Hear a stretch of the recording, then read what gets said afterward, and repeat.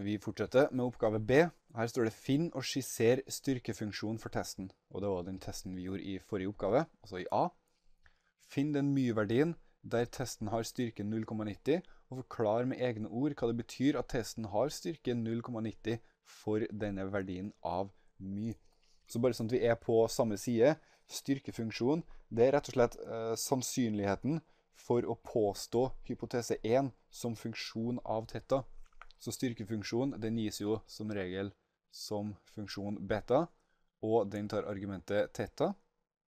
Og det er rett og slett sannsynligheten for at vi velger å påstå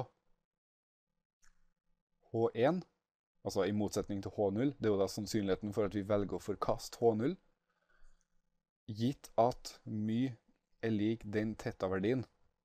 Så når vi varierer på den teta-verdien her, så er det vi gjør er faktisk å endre på den my-verdien her som vi bruker i utregninga.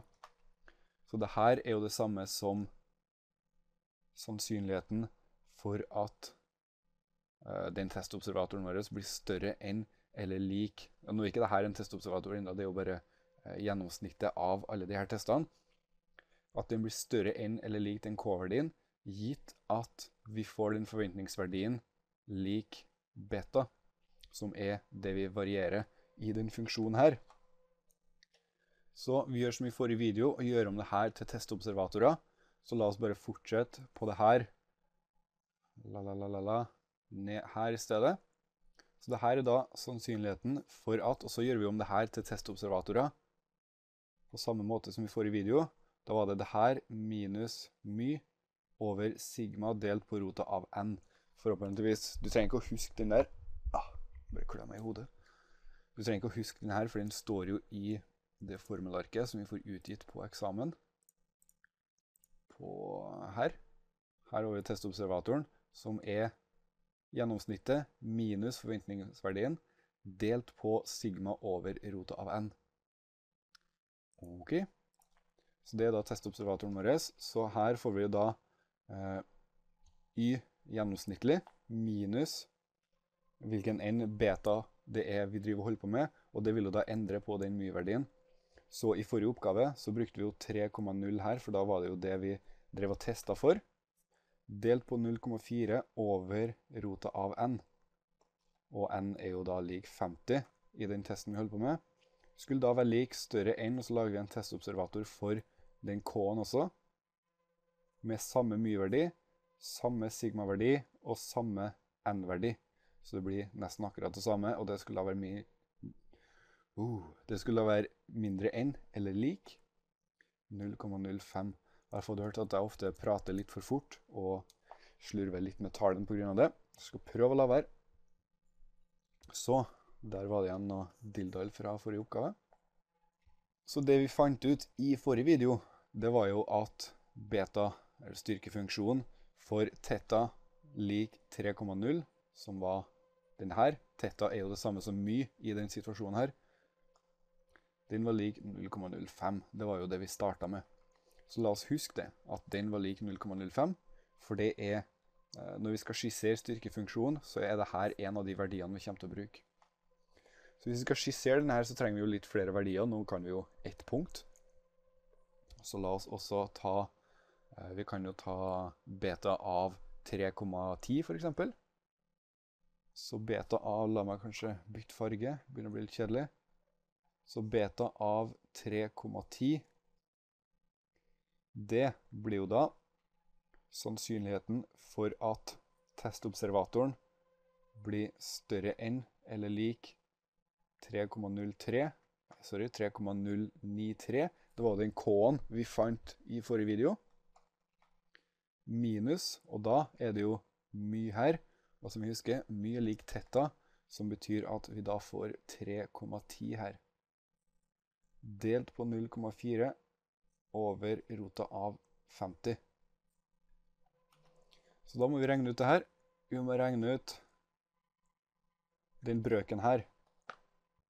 Og ifølge min kalkulator så står det at det blir minus 0,124, litt avrunda. Og her kommer det som er kanskje litt tricky å tenke på.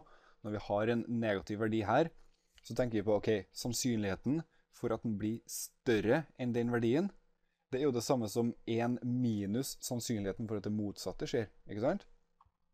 Så da er det 1 minus sannsynligheten for at det motsatte skjer. Og det motsatte, det blir jo da at den er mindre enn minus 0,124. Så det vi kan gjøre da, er jo at hvis vi ser på det formelarket her, så ser vi jo at sannsynligheten for at den stokastiske variabelen blir mindre enn eller lik en eller annen verdi, det er det samme som g av den verdien.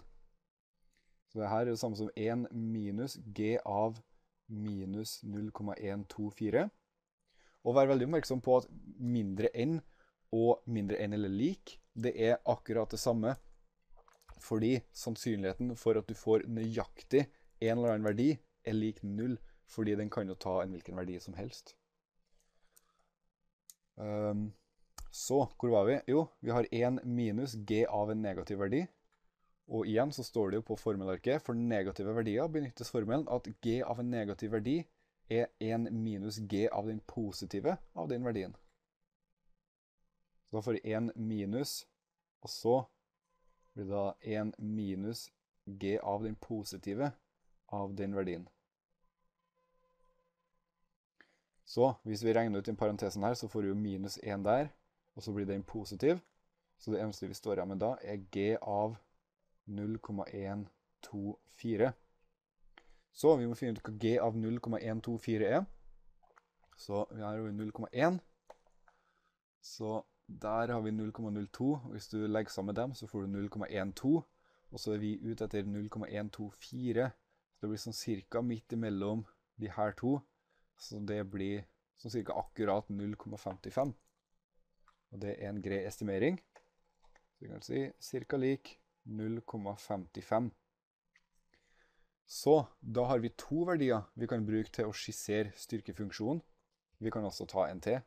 Det er jo greit å ha enda en, for det er jo ikke en lineær funksjon. Så vi kan ta 3,20.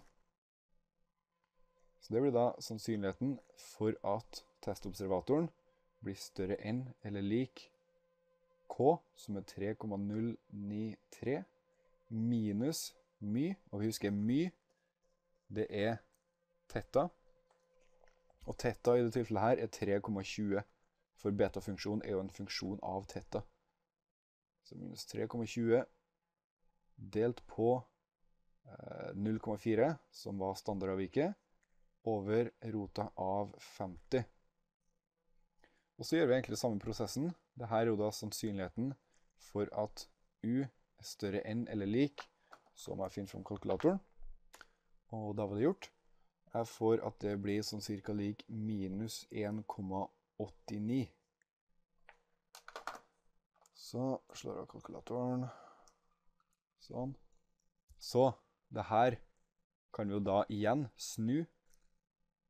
Og det er ikke nødt til å være negativ verdi for at du skal kunne snu det, fordi det er jo når vi har mindre enn her, at vi kan gjøre det om til den g-funksjonen.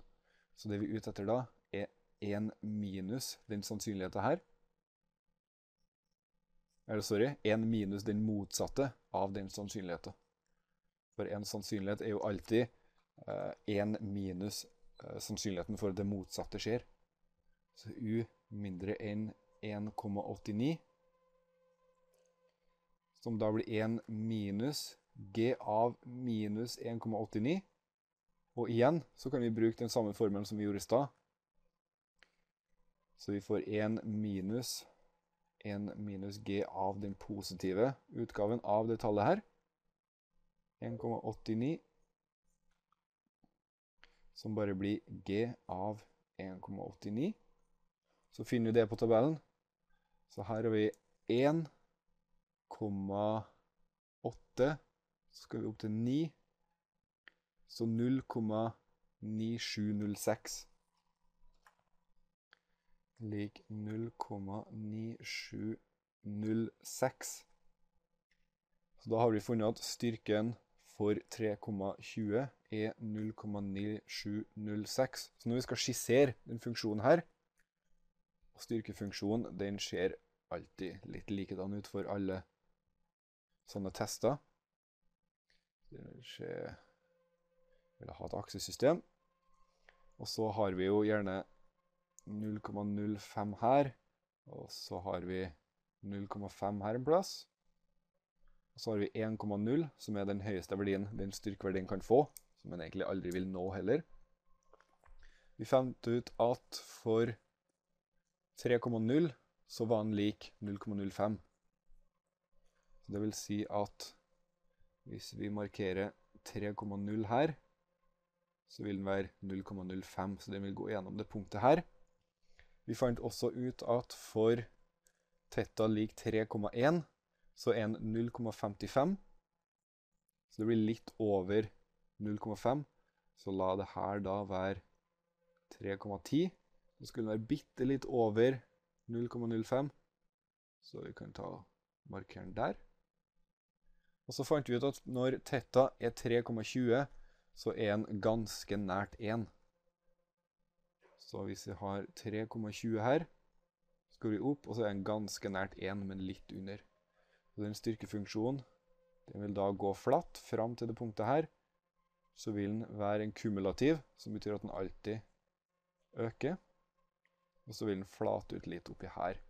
Så det punktet, det som vi kan kalle en asymptote her, da, vil være her. Så den vil aldri helt nå det punktet der, men den vil flate ut asymptotisk mot eh, den linja. Så sånn ville jeg ha skissert den styrkefunksjonen. Så det var jo bare kanskje del én av oppgave B her. Vi har funnet og skissert styrkefunksjonen for testen. Og siden den videoen ble litt lang, så tenker jeg vi tar resten av det her i neste video.